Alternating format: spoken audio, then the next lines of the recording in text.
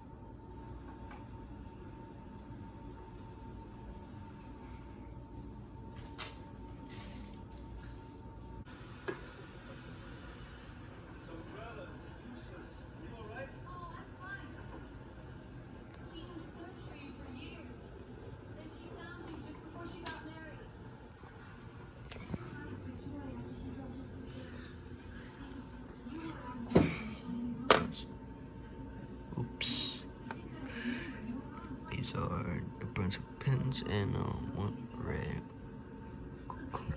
pen. And these are the rainbow colors. And yeah, um, thank you for watching and goodbye.